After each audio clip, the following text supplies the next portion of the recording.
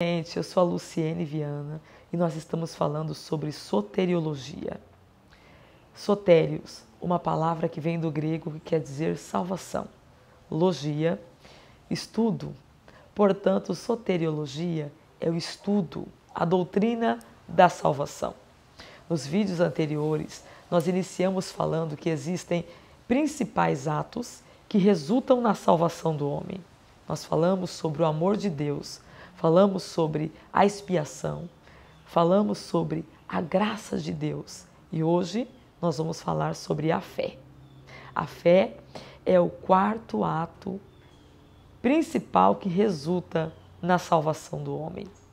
Ora, se você ver o vídeo anterior, talvez você me faça a seguinte pergunta: se a graça de Deus, se a graça de Deus manifestou trazendo salvação a todos os homens? Por que todos os homens não são salvos? Hum? É porque a graça de Deus ela é suficiente para todos. Porém, ela só é eficiente para os que creem. Percebam a diferença. A única coisa que condena o homem é não crer. Nós estamos usando o texto base de João 3,16. Porque Deus amou o mundo de tal maneira que entregou, que deu o seu único filho, o unigênito, para que todo aquele que nele crê não pereça, mas tenha a vida eterna.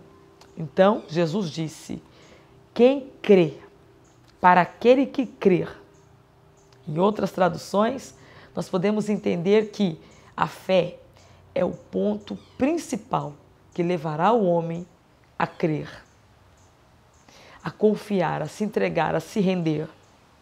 Por isso que sem fé é impossível agradar a Deus. É por isso que o justo viverá pela fé.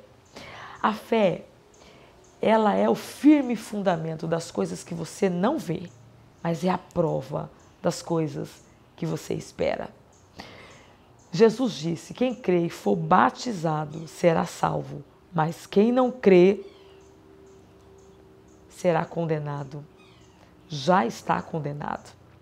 Paulo disse: Se com a tua boca confessares ao Senhor Jesus e se em seu coração creres que Deus o ressuscitou dentre os mortos, será salvo.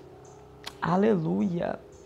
Então entenda que sem fé é impossível você conhecer a salvação, você ter a salvação. A fé, ela é eficiente para fazer com que a graça de Deus não apenas se manifeste, mas que ela nos leve ao ponto principal, a eternidade. Nós estamos falando sobre a fé.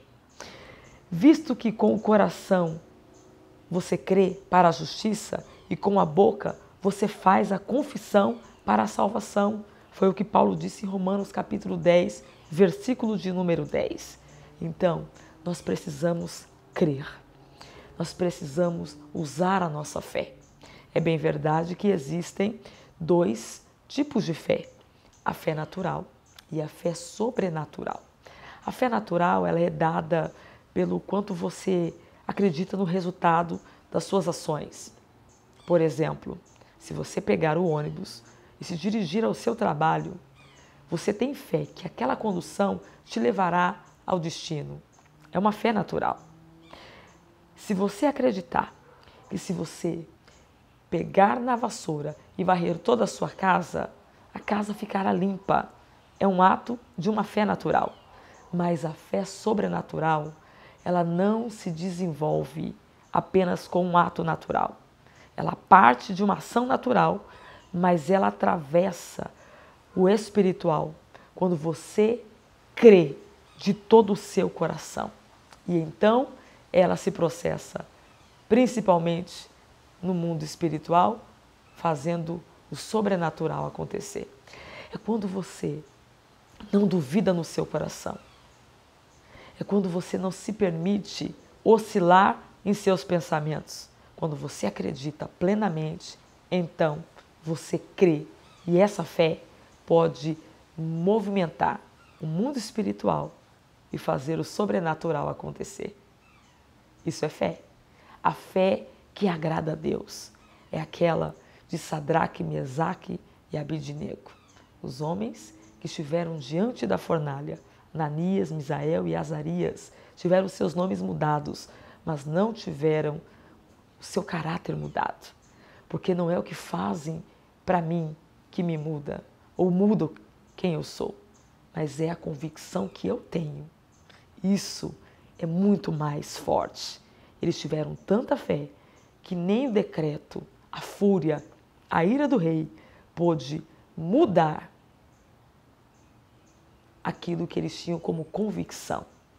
Assim, precisamos ser nós. Nós precisamos ter essa fé inabalável. E aí você me pergunta, irmã Luciene, como eu faço para ter essa fé? A fé vem pelo ouvir e ouvir a palavra de Deus. É a palavra de Deus que nos dá essa fé.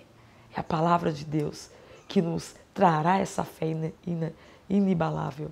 Inabalável. Aleluia. A fé em Deus vem pelo ouvir a palavra de Deus. Por isso eu digo, priorize a palavra. Deixe a palavra de Deus fluir em você. Não seja apenas ouvinte, mas seja praticante da palavra. Tenha compromisso com a palavra, leia a palavra, medite na palavra. É a palavra de Deus que vai te dar toda essa fé que você precisa. Sem fé é impossível agradar a Deus.